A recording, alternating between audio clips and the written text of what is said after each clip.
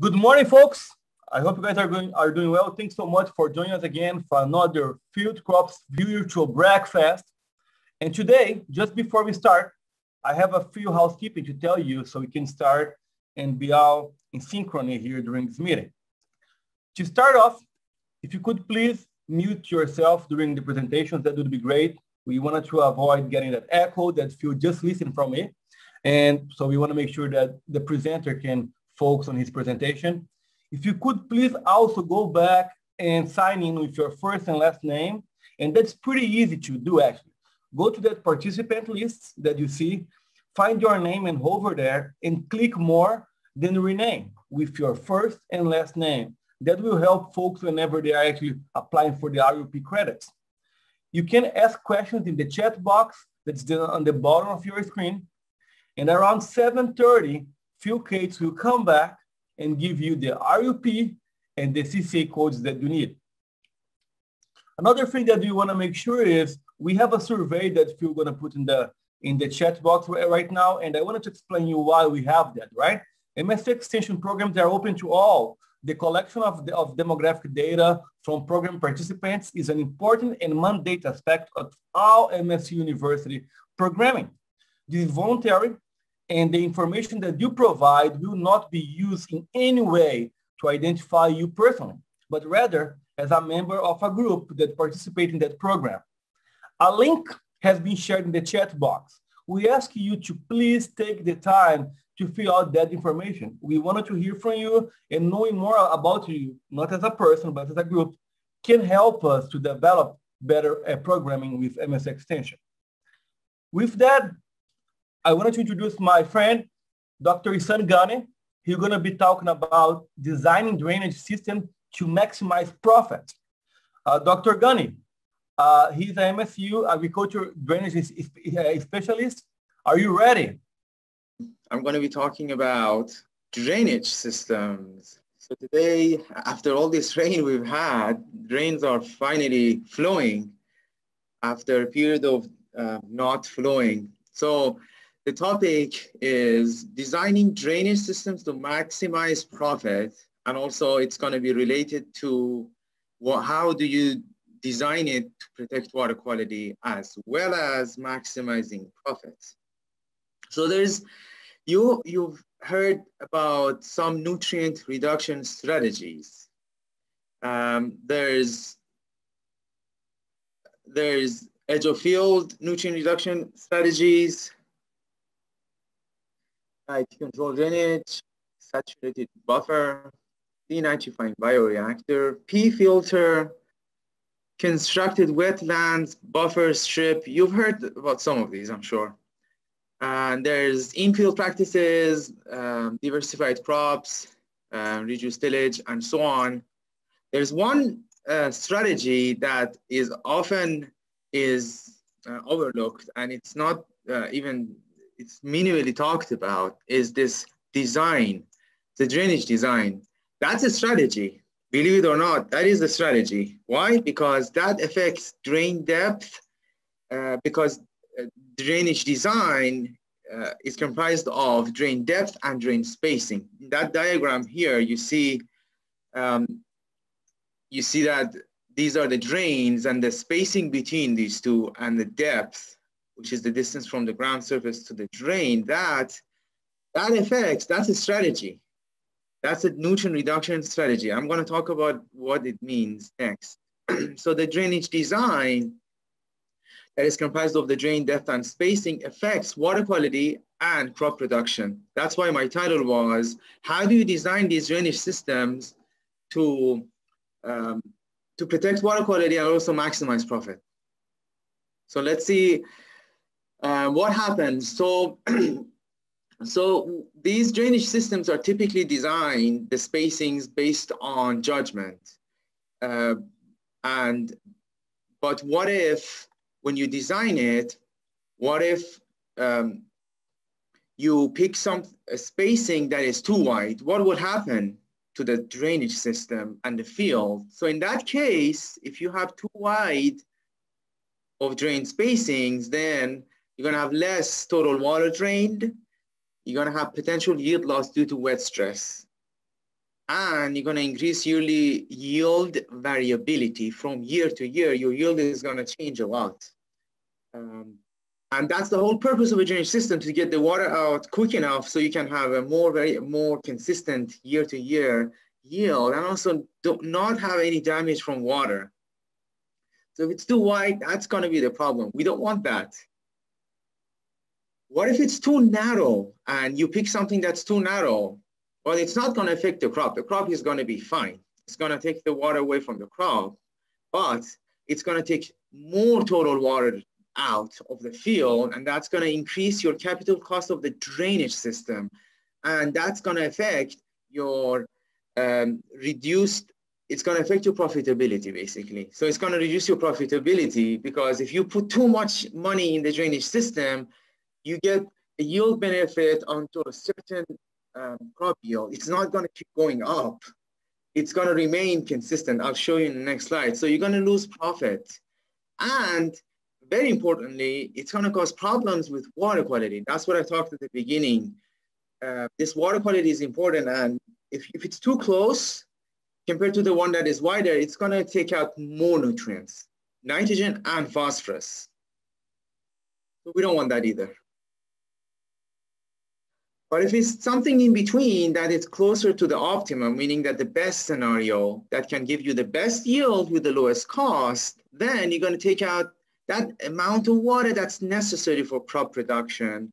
And that's going to be what the spacing that's going to maximize economic return on investment. And it's going to help protect water quality. Why? Because it's not going to be the too narrow scenario. Um, your, your goal would be in that crop production area Plus, you're not going to be too narrow, uh, narrower than necessary. So that's the check mark there. That's what we want to be close to. So the drain spacing tool, we have a tool, I'll demonstrate it briefly. This tool estimates, so this tool basically, if you've gone to the, um, if you've attended our drainage school, in Michigan, we have a drainage school. Other states have it. Uh, we talked about the we talk about the drainage coefficient, which is the depth of water removed by the design drainage system in 24 hours. It's in inches per day. Um, so basically, the tool maximizes that, and then it um, it then it calculates that spacing off of that drainage coefficient that the tool provides.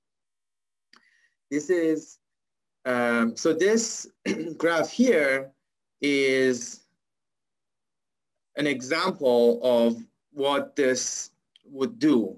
You can see here that so we have um, th this graph here on the left axis, I've got the relative yield in percent. 100% means your maximum potential yield has been achieved. The one on the uh, on this axis here, I got 0 to 350. That's the uh, drain spacing in feet. And then on the right axis, I've got average annual return on investment. That's in dollars per acre. Zero means that you just balance out. You're not making profit. It's just, but if, you, if you're in a positive, it's a good thing. So let me show you the, uh, this is an example as what the tool is has been based on. So the Drummer silty clay loam soil in Urbana, Illinois, and this is the crop yield. So see how uh, as you increase your spacing, the crop yield uh, goes down. Remember I said that that's gonna cause water stress in the previous graph? That's where this graph is showing. And then remember I said that if you keep, keep making it narrower, it's not gonna make your yield go higher. See that? So about this area, uh, here, and if you keep making narrower and narrower, and, and this, if this line continues, it's probably just going to keep continuing about the same, about. So it, there's no, um, it's not economical to go too narrow. It's just going to be uh, causing a lot of nutrient loss. So this is the crop, but then let me show you the profit. Look at how the profit changes. So the profit at the beginning, because it goes up, it peaks, and then it comes down again. So basically the tool goes to the peak of that. And in this case, 44 feet is going to be maximizing the profit. Yes, it will. Even though at 44 feet, it's not the maximum, but it's very close. It's like half a percent or 1% um, difference between here. But that's economically speaking, that would be the best so let me show you. Uh, so if you go to the, so if you go to the drain, this website, I will, if Ricardo, could you paste this? This is a simple address. If you could, after the, um, after I present, you can, we can uh, put this in the chat box. Sure. Yeah, Ehsan, I, I actually, I, I, I already put a link in the chat box for oh. folks oh. For the drainage tool calculator. Awesome. But I can put that, yeah. So we're good. So um, this is the drainage website, drainage tools, drainage design tools. The first one, we have a suite of these tools. The, the state of the art, the, the most advanced one, I'm, I'm proud of I'm proud of all of them. This one is the really, really useful one, the drain spacing tool. So if I click on it, um, you will go to the tool and this is what the tool interface looks like. It's a GIS interface. You zoom into your, I'm gonna do a simple demonstration. Um, so you go to a simple, um, you zoom in to any, any location you like. Let's say like this farm, I'm randomly just going here. And then if you draw a boundary around your area, you could pick your shape if it's like a polygon. And I'm just gonna, and then double click, and then this is, and then uh, if you enter your target corn planting date for this, for your region, for this part of Michigan, May 5th would be my choice uh, based on um, so this would be May 5th, would be the target planting date for this date. And one thing here is the drain depth. And if you click on calculate, it will provide you with the um,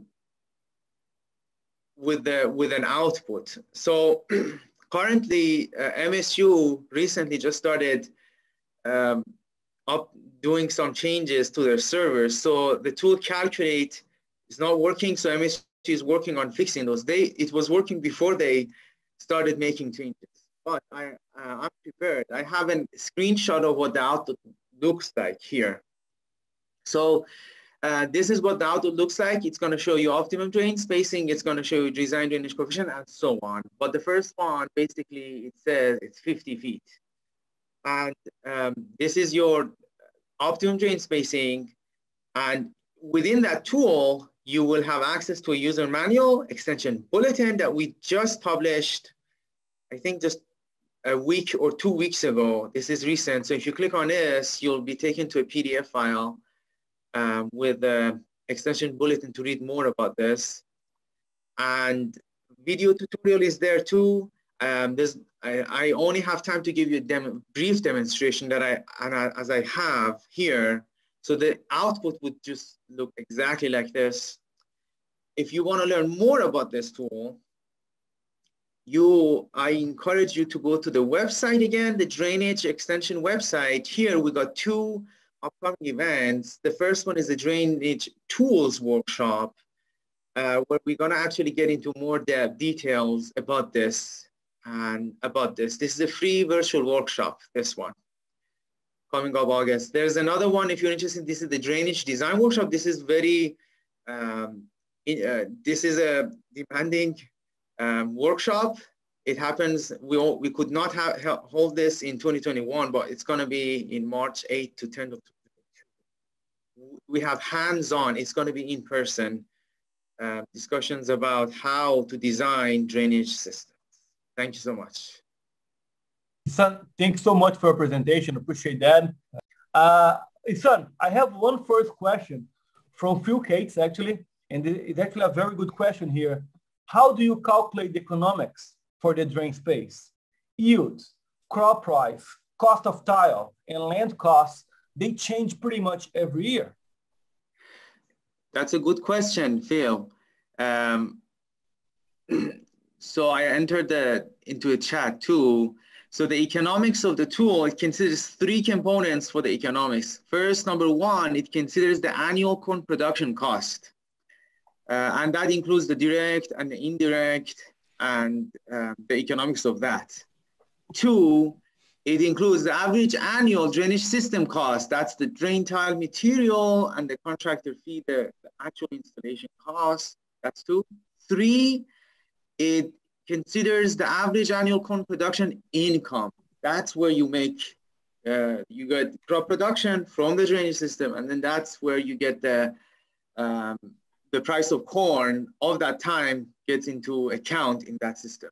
So I, I, I only went through the basic version of the tool. In the actual workshop, the free workshop coming on August 24th, we're going to go into the advanced section too. Generally, the tool, the basic version, um, is only requires, I think, like, like two inputs, the drain depth and the target planting date. But the advanced one gets into the uh, details of the corn. So if you can enter your own corn price of your of the time and your drainage system cost, because those affect this tool, because it's an economic tool, right? But if you go into the advanced, then you can enter those and put your tile company, uh, tile um, material cost, installation cost, and that gets into considers into that. So, uh, thanks so much. And actually, we have a a follow-up question from Leon Cook here asking, how much of the state's covered with the information you showed in the drainage tool? Yeah, good question, Leon. Sorry, the tool didn't work. Uh, it's really, um, if you heard about ransomware attacks these days, I think uh, um, maybe, I don't know we were attacked or not, but uh, the tool was working and all of a sudden with all of this ransomware attacks with cyberware attacks these days, security levels want to go up. MSU has done some things and it's not working, but it, when it works, it works for the entire Midwest, uh, beyond Michigan, Ohio, Indiana, uh, Illinois, and all the way to um, North Dakota. So it works for entire Midwest and um, like so the two the one message that I would have for the tool is that use the tool as a general guide. Use it as a guide to help you where you would be in your drain spacing. If you want a better uh, output from the tool, because any tool, any model is, is as good as its input. But if you want to make it better, go into the details, those advanced settings, and enter your own verified. So you have a verified uh, soil property, you have a verified corn, you know this is what you want to do, and then you get a better output. Make sure to fine tune right uh, the two uh, because probably uh, the two is not perfect. They just give you the guidance what you do right, and you are responsible for fine tuning that. Exactly, fine tune or tailor the tool to mm-hmm. your own custom conditions. Ehsan, uh, thanks so much. Jeff, I know that you already answered the question from Phil, but you want to maybe just say out loud for folks that are not reading there. The question was, what is the nine-day outlook look like? Right, and, and it's, it's sort of a, it's almost a trick question because uh, this outlook, the 90 day that we get officially from, from NOAA uh, and the Climate Prediction Center comes, uh, it comes out during some point during the third week. Today is that day, but it's not available until 8.30 this morning. But that said, the current outlook, which is last month's issuance, is for warmer than normal mean temperatures, and that would be July through September uh, with no direction on precip. But again, the pattern that you saw in some of this with drier than normal conditions forecast to our west and what are the normal conditions forecast to our east and south, that, that has been persistent, as has the warmer than normal forecast. I would be a little surprised if the new outlook, the updated one that comes out here in another hour, is very different from that. So uh, the warmer than normal, I think, is a good bet. All right, uh, Jeff, uh, thanks so much. I, I know that Marty, he left uh, like a message here in the chat. So I don't know if Marty is on, but just in case, I'm going to just read that out loud, Marty, and you can just join us. Oh, are you there? So do you want to uh, tell people what Chris said and also maybe just jump on your own uh, message that you left right below? Sure. Good morning. So yeah, Chris is driving this morning. She wasn't sure if she'd be able to um, talk on the on the breakfast call. So she just wanted to draw attention that Western bean cutworm flights are up pretty dramatically. Um, so it's important to get out and scout this last week of July. Um, and the threshold for that is 5% of plants with egg masses. Um, the thing that relates to the pathology side of things too is that at the moment we're at pretty high risk for uh, Fusarium ear mold infection, uh, just given these wet and humid conditions that we've had.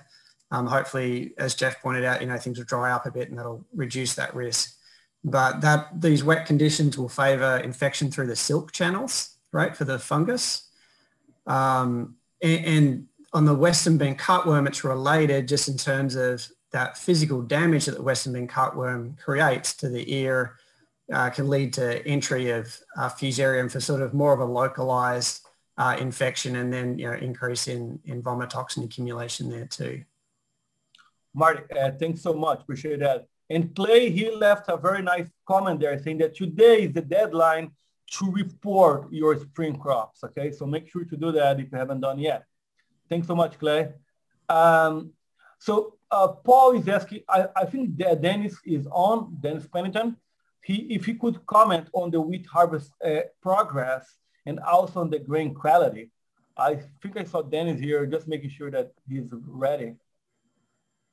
Yeah, sure, Ricardo. sure.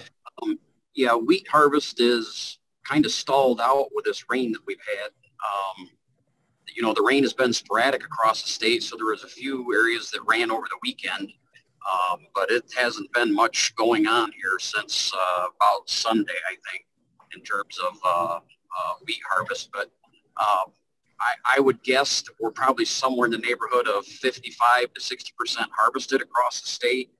In terms of quality, we've got in the white wheat growing areas, we've got falling number problems, and that number just seems to, it started out bad and then it got better um, for some of the later maturing uh, wheat. Uh, but now with the rainfall we've had frequently recently, um, that number may start ticking back down again. Um, and then, but as far as vomitoxin, we really have bet very low levels or I mean, they can detect some, but it's it's not even anywhere near where you get docked. So from a, a vomitoxin level, it's been really good. But the, the sprout has been the key issue.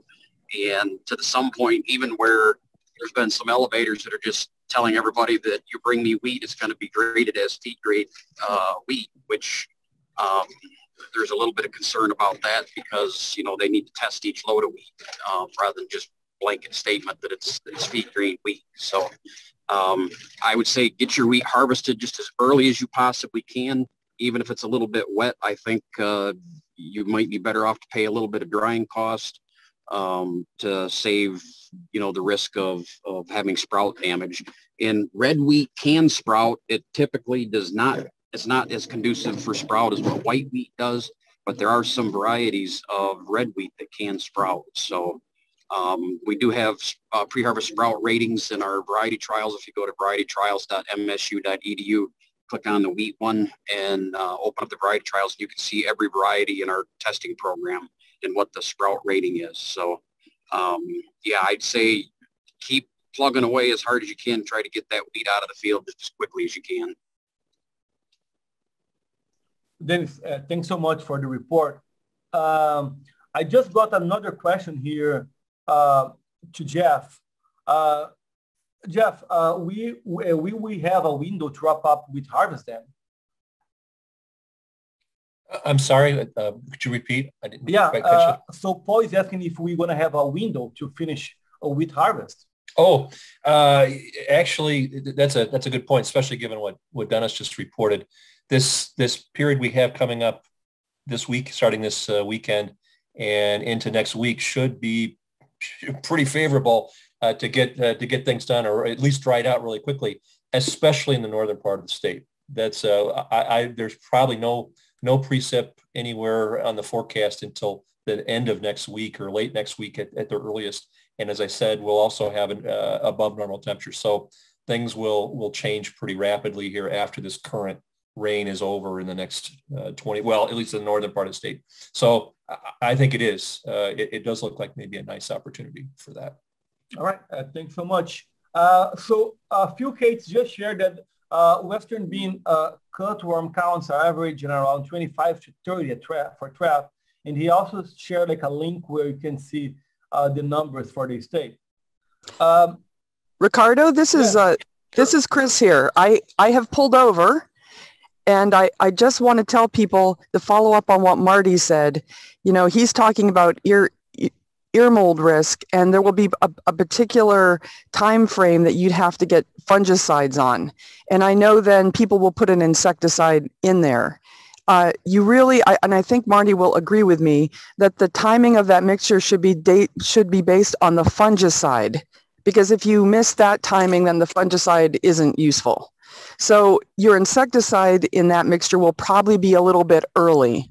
So it wouldn't surprise me if you put on a tank mix, maybe you take care of the ear mold problem or reduce that, but you may seem, see some slip through with some of the uh, larvae that hatch a little later. So I just want to make clear that in, in, a, in a tank mix, and again, Mar- Marty can comment then too what he thinks, but I, I think you should time it on the on the ear mold risk or on the uh, on on the silks and and less so on what's there for the for the uh, eggs.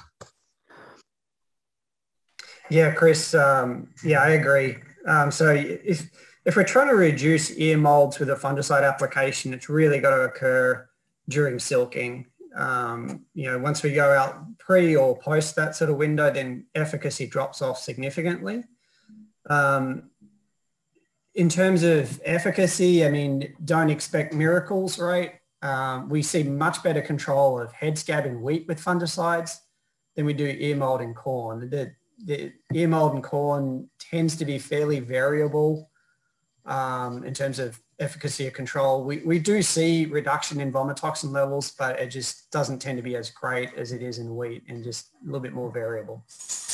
Yeah, and then, and then if you get the timing wrong, then it's even worse. The, then it's just, it's like putting the fungicide on and it's a wasted up it's a wasted application at that point and you and and then at that point you probably should have just sprayed with insecticide alone if you had critters there you know maybe a week or two later. So just be really cautious with these tank mixes. I know you're all going to do it. So but i would time it based on marty and less on me at that at that point then. And I guess because, the, because um, pesticide's probably more more pricey anyway than the junky insecticide that you're throwing there. So. Yeah, the only other opportunity that's sort of there um, in cases where there is tar spot really picking up, then oh, you know if you're not in that silking window, you're not going to control the the ear molds, but you know later season.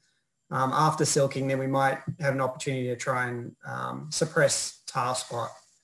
Um, and it, you know, in terms of managing that, we've we, we need to really be managing, you know, a 60 plus day window here. And fungicides work for about two weeks. They knock down the amount of disease and um, you know help protect for about two weeks. But then after that, you know, spot can pick up again. So uh, it's about knowing what's in your field, knowing the local um, conditions in terms of disease presence or not.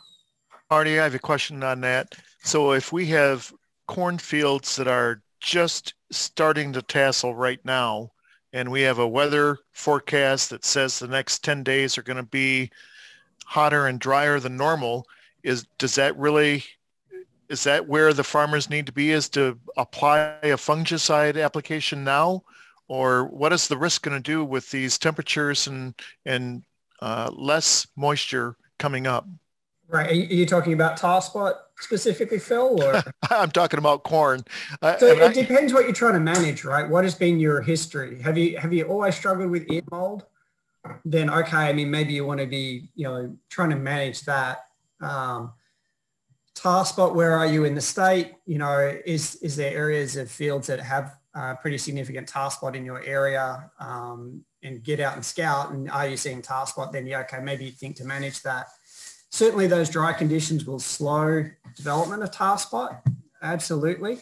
Um, again, it's sort of about, you know, trying to maximize um, efficacy, I guess. Um, I mean, I, ideally, you probably want to wait until you're seeing some some level of tar spot. A very, you know, you don't want to let it get get away on you because then that's going to be a really big problem. But um, going too early could be a bit of an issue. So last year in some, and we'll talk about this in more detail next week, but last year um, in an irrigated location that has a very high risk, susceptible hybrid, we sprayed on the 17th of July and we protected between 30 and 50 bushels, depending on the product we put on. But it was a location that developed very heavy tar spot. Um, again, it was irrigated, so higher risk. Um, but it just really depends how the rest of the season plays out, right? If the, if the rain's going to come back in August, and if so, then that's going to kick up disease. Well, uh, uh, uh, thank you again, Marty. Uh, I see a few other colleagues here uh, on. Is there anything you guys wanted to share before we end our conversation for this Thursday? I know that we have Paul, we have Eric. Is there anything that you guys want to share from your area? Well, it appears we're all quiet here today. Phil, I think we are. I think we are good. Do you have anything else to share so we can finish today? No, no, sir. I think we're all set. Thanks, Ricardo. Uh, thank you guys so much for joining us today, and we're looking forward to see you again next Thursday when Marty will be talking about tar spot. Right? Thank you guys so much, and guys have a great day.